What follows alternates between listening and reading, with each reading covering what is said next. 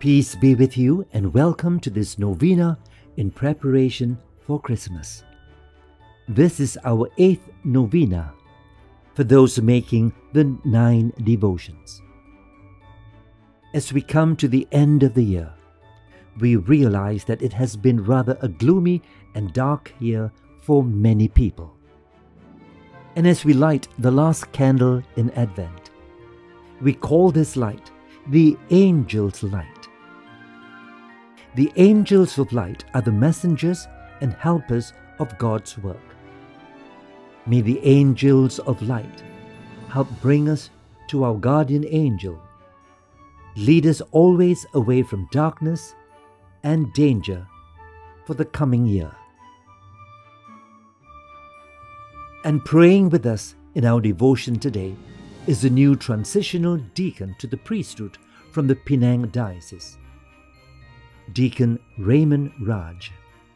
He reminds us that in this Advent season we cannot do without the help of Mary, for she herself prepared for the coming of the Messiah at Christmas.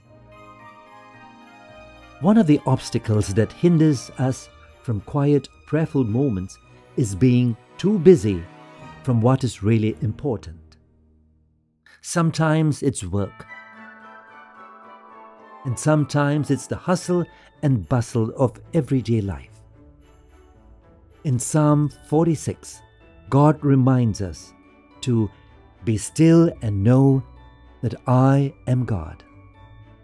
Let us surrender our minds and tame our hearts and be still and enter into this opening hymn with.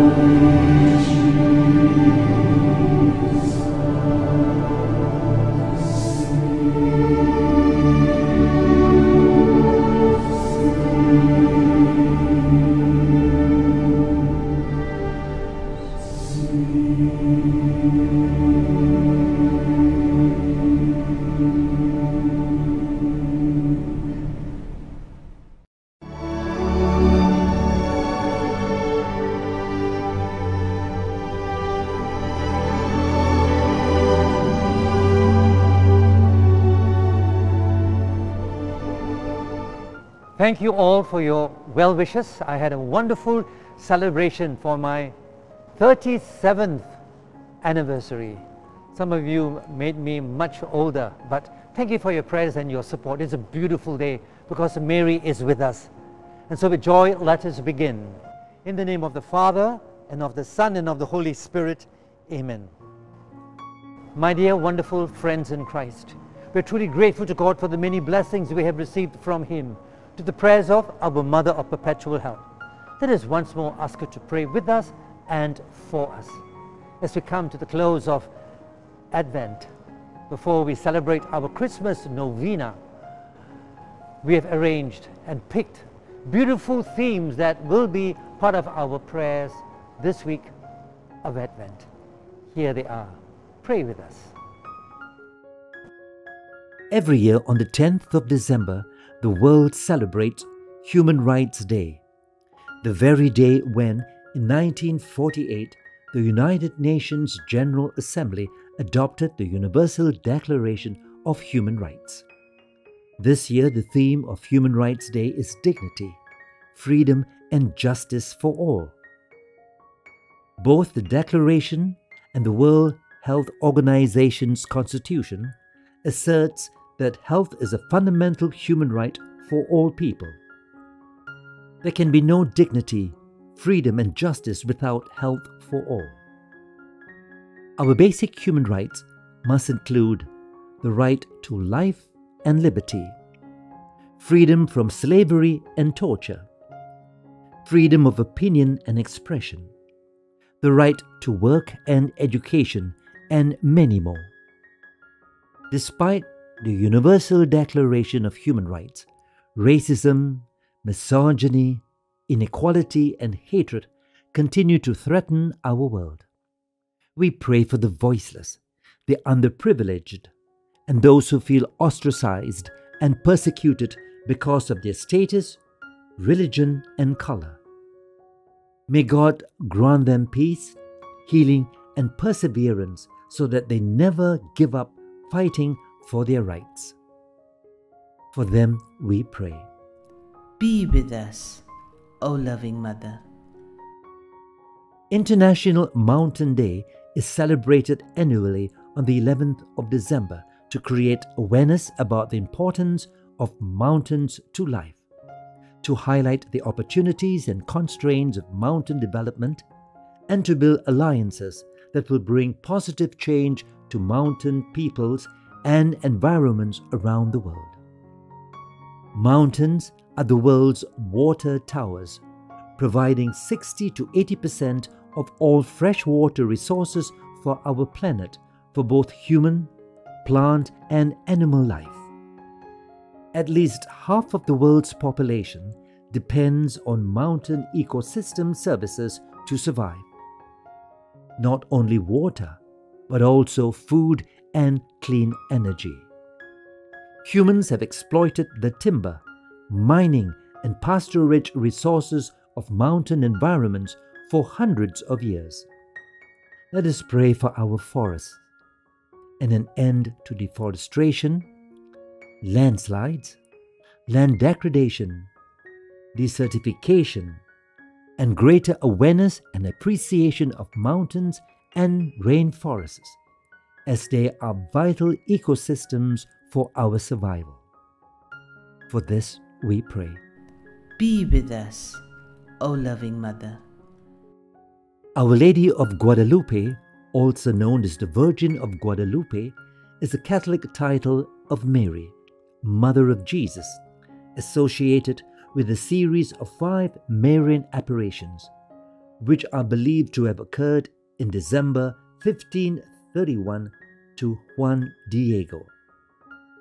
A venerated image on a cloak is enshrined within the Basilica of Our Lady of Guadalupe in Mexico City. The Basilica is one of the most visited Catholic shrines in the world and the world's third most visited sacred site. The Virgin who appeared at Tepeyac was associated with motherhood, with birth, and with new life.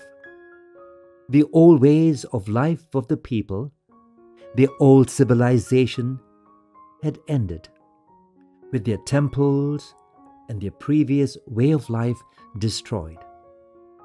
Our Lady of Guadalupe was bringing forth new life, a new people, and a new way of living. She gave Juan Diego a message for the local bishop to build a temple on the hillside where she appeared, so she would have a place to hear petitions and prayers and provide miracles. We continue to ask her to hear our petitions and prayers, especially for the poor and the needy this Christmas. Be with us, O loving Mother.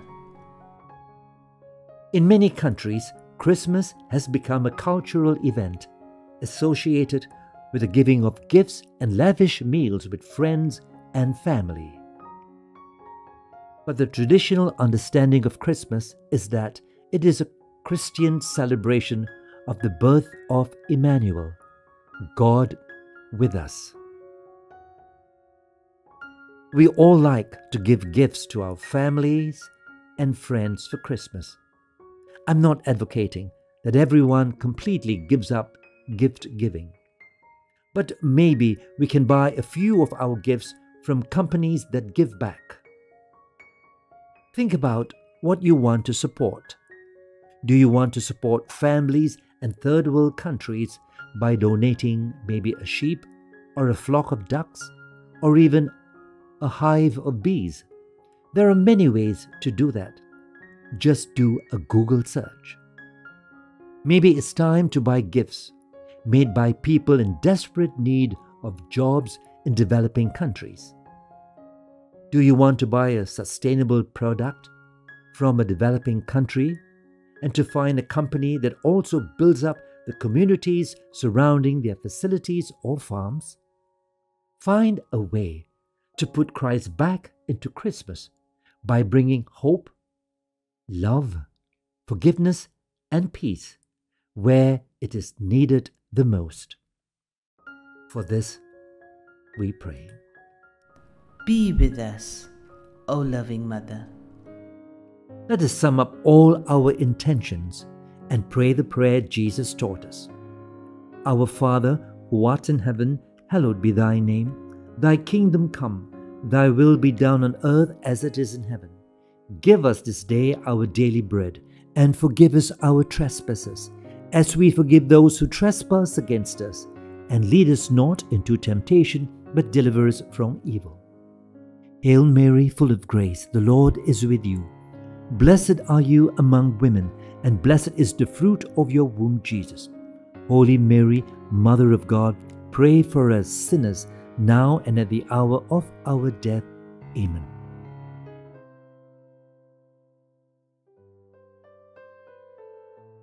Welcome back.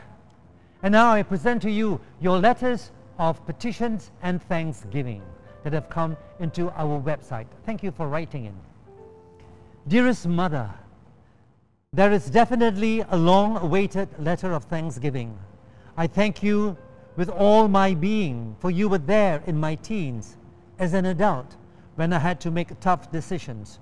As a mother myself, you journeyed with me through my motherhood, and you still do so whenever I call upon you, especially during my darkest moments you didn't leave me alone, but led me to your Son. Thank you, Mother. During the pandemic, we, the devotees, were blessed with online novenas by Father Patrick Massang. He and his crew did dynamic job every week that no one could ever dream of. Father helped us to pray for many petitions and intentions around the globe, together with many preachers who gave us their best. The sharings helped me look even deeper into my faith journey. Nevertheless, for leading us all prayerfully during this Advent season, I pray that God will continue to bless and inspire Father Patrick Massang, who has given us so much in art, music, and prayer. Thank you, Mother, for praying for us as Father Patrick Massang for this unique novena from your devoted daughter. Dearest Mother of Perpetual Help, thank you for your powerful intercession to our Lord Jesus Christ for a benign result of the brain scan of my wife, a big relief for our family and friends from your grateful Catholic son. Dear Mother Mary, please intercede to our Lord Jesus Christ for my wife's atrial fibrillation problem with irregular heartbeat from your anxious Catholic son. Dearest Mother Mary, we just found out that our son is unemployed and is undergoing depression to the point that he is not able to communicate with us. Mother, we are so worried about him. While he has texted us that a friend is taking care of him, we are concerned that without a regular income, how long will that last? Mother, please intercede, comfort and console him and help him in his hour of need so that he can rise up to this challenge with God's blessings and mercy from your concerned son. Dear Mother Mary, my grandfather passed away recently. I miss his jokes and his wise words and wisdom. Above all, he adored you the most in his life. Forgive all his sins and may he rest in peace. I also pray for a miracle to conceive. It has been two years. Remove all my fibroids and cysts. I place all my trust in you and your Son. Thank you from your loving daughter. Dear Lord Jesus and Mother of Perpetual Help, I come to you and seek help for two of my classmates who have been hospitalized for treatment. Bless them with good outcome and speedy recovery. Thank you, Lord Jesus and Mother Mary. One last letter. Dearest Mother, please pray for me.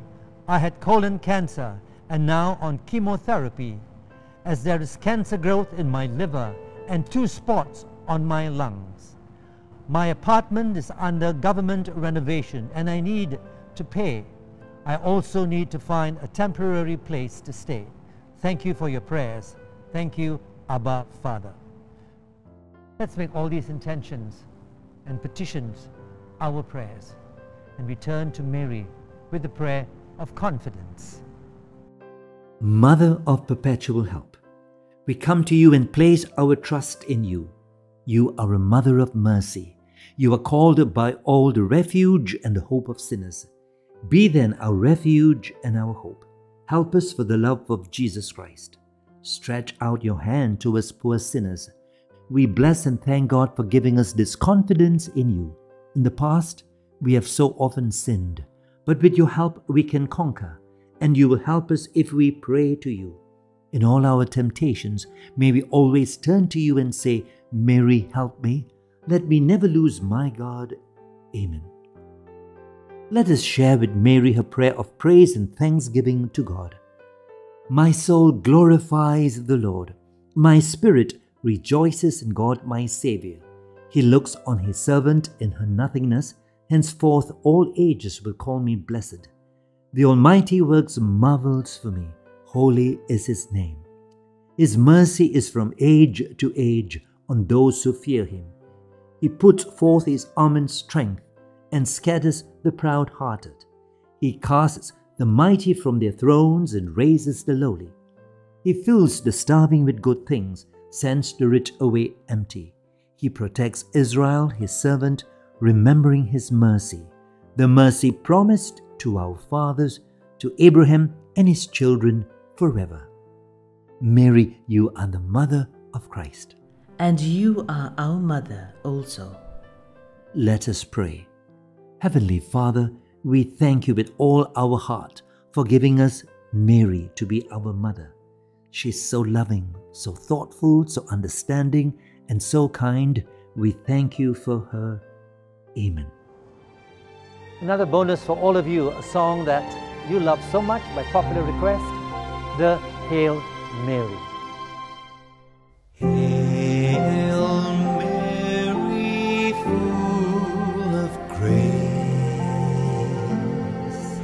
The Lord is with you. Blessed are you among women, and blessed is the fruit of your womb, Jesus.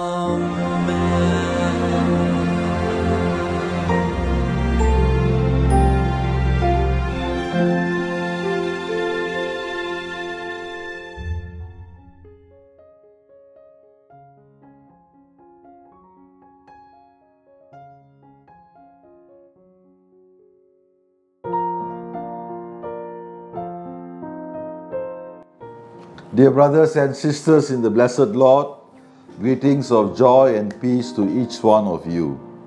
Speaking of the season of Advent, most likely all our attention now is placed on the person of Jesus Christ and whatnot Christmas Day. Very often, the role of Mary in this season of Advent is not highlighted or even mentioned at all.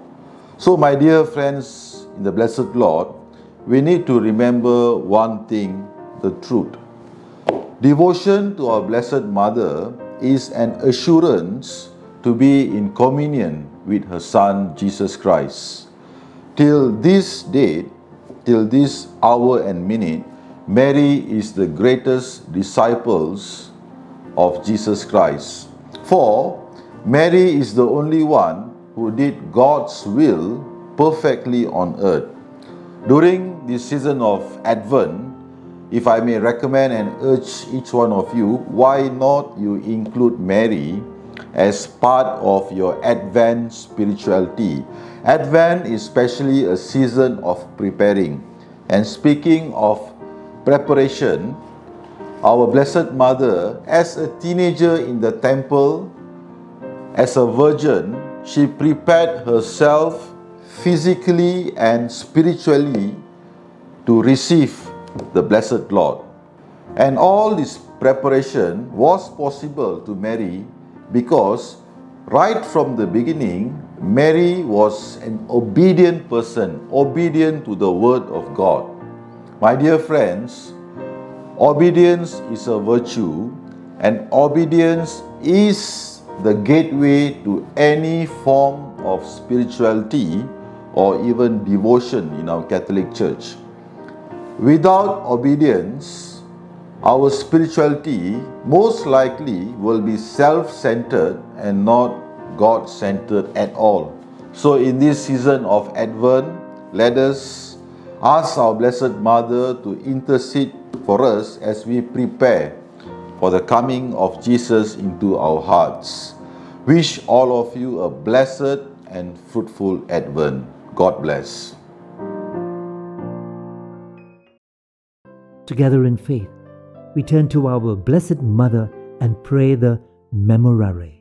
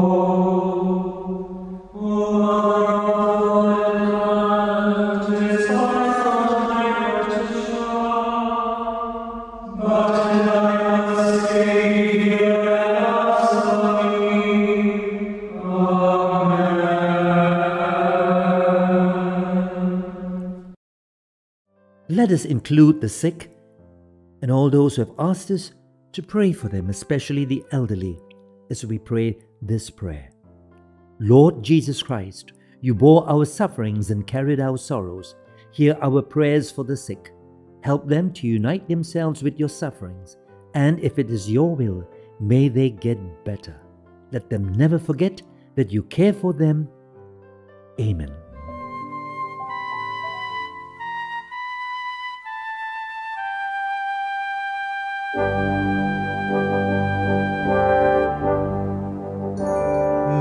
From thy sacred image, with those eyes so sadly sweet, Mother of perpetual succor, see us kneeling at thy feet.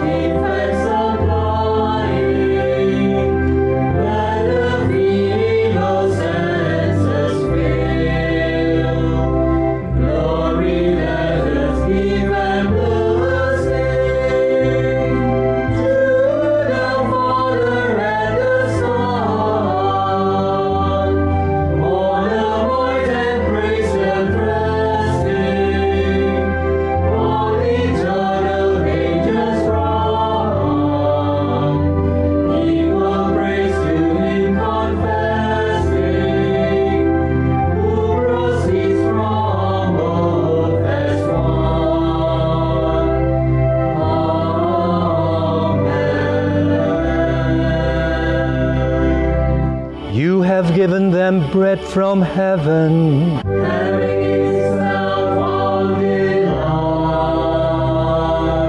Let us pray.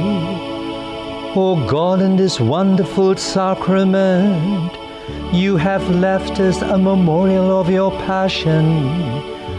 We ask you to enable us so to worship the sacred mysteries of your body and blood, that we may constantly feel in our lives the effects of your redemption. You who live and reign forever and ever.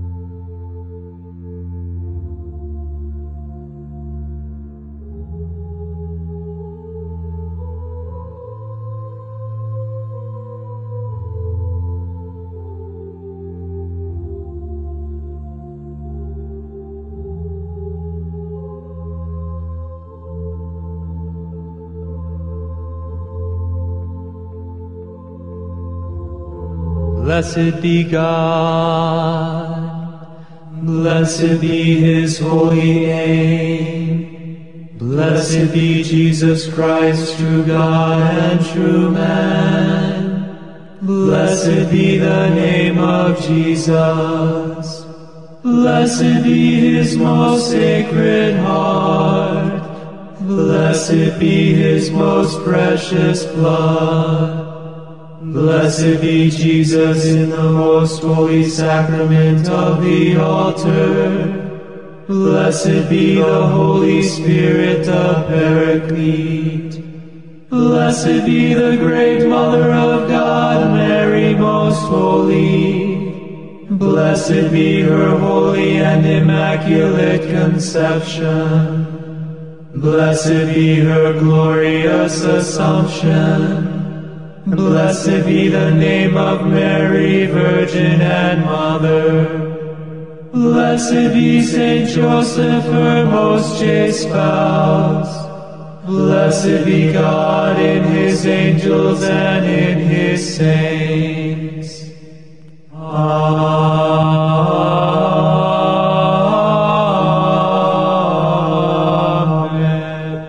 Thank you very much, Raymond Raj, for sharing with us something on Mary for us to ponder and think about that Mary is always part of our Advent preparations. To all our friends and benefactors, for your support and your confidence, it was a pleasure bringing you these wonderful creative novenas. For the past three years, we had been at your service. So we are truly grateful. I can't imagine that we had reached 138 novenas, something so impossible. I don't think anyone online has done anything so creative with regards to a devotion. And we have just a few more to go before we take a break, and we will discern whether we should come back. But maybe we can do special novenas in Lent and Easter and maybe Advent, all right? So thank you once again. I end this beautiful devotion. It's sad to say goodbye, but we must. And so, this song, you know, join me. What child is this?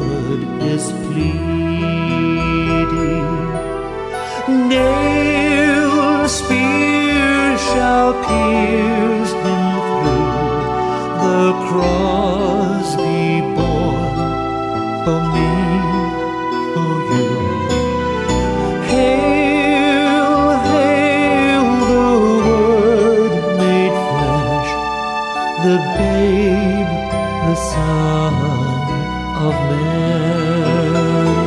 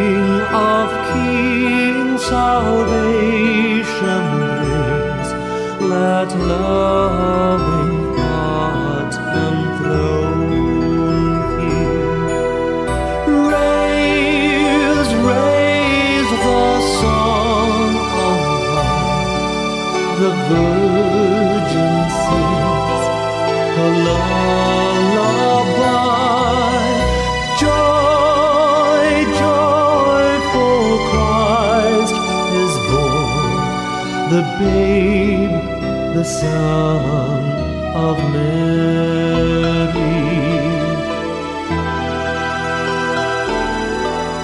The babe, the Son.